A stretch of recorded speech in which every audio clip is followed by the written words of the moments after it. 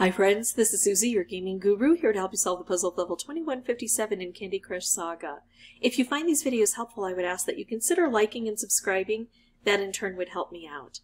This is a special dedication to Sarah, who has let me know that they have changed this board radically.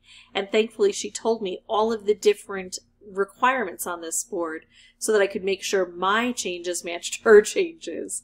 So we have 18 moves to collect two ingredients. Here they are they can be deposited anywhere down here, just not in this column. Sometimes things flow out, but it's unlikely it would reach toward the center completely. So what I'm going to try to do, I've got to get through this part first, so I'm going to focus on the keys. Once I can get the keys, what I need to do is to try focusing on clearing out the licorice and the frosting that's here. Now sometimes they have to go through multiple layers of frosting, but sometimes this will slide out. So if I can make it so that it slides into one of these open areas without removing all of the frosting, that's what I'll do. This could take this out right away, and the center, so it's opening this area up a bit. I don't see any better move, so I'll go ahead and take this. Ooh, we've got a wrapped candy. I really want to sink it down before I use it. I could move the purple out of the way and it would come down a little bit further. But I have an opportunity to take this out directly, so that's what I'm going to do. Now I think I'll do this. Oh, I want that down lower. Or I want it paired up with something. How can I match it? I don't know how I can match it. Oh, let's see if I can get a color bomb with the orange. Oh, so frustrating. There aren't very many colors, so it had a strong chance of it, but it just did not fly. I can make a stripe. I don't want to set these up together. I want to drop both of them. I'm not going to be able to, so let's set it all off and just try to open this board further. I really have to get through here. Sarah, I can see your concern about how long it takes just to open this up. Once we open it, we still need to collect the ingredients. It's not listed as a hard level, but that doesn't mean it isn't a hard level. That means it used to not be a hard level and they never bothered changing it, in my opinion. I could take out the green here and this would blow up and remove this completely and bring a key down, or I could try to hold on to it. Here's the problem with holding on to it. It might set off in a way that I don't particularly care for, and I only have eight moves. So let's use this and hope that we get more specials because of it. Look at that. We actually collected two keys because of that. I need more keys and I can't get this opened up.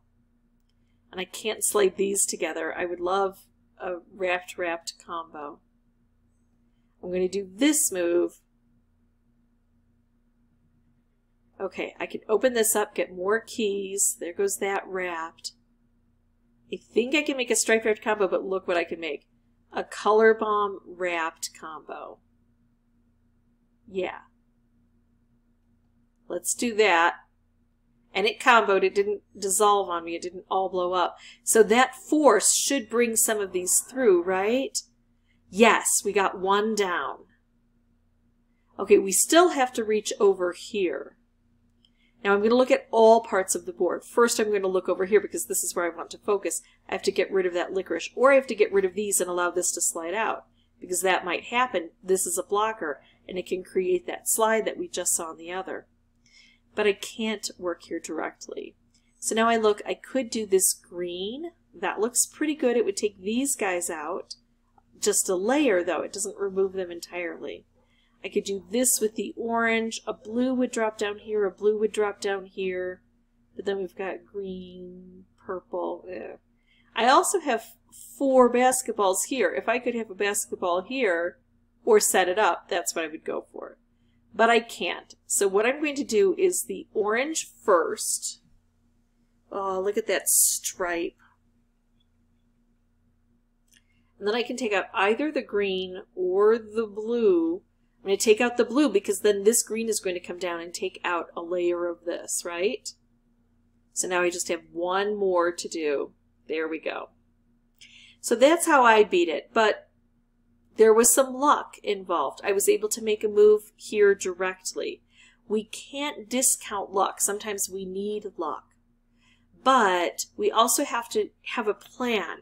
We have to know how to approach the board so we can capitalize on that luck when it shows up. I got a little bit more luck at the end or I would not have made it through that one. It was touch and go. If you have any questions or comments, please put those below. Sarah and everyone else, I wish you all the best of luck and success. And as always, thank you so much for watching.